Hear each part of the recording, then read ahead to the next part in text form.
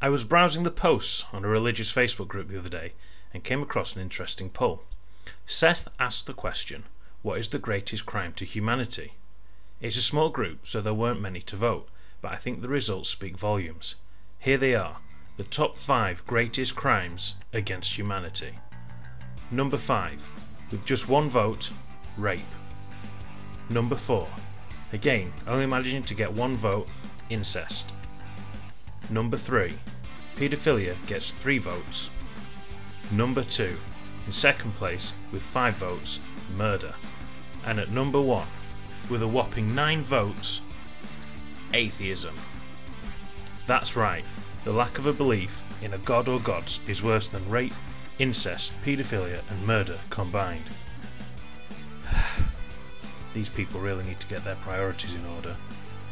Thanks for watching.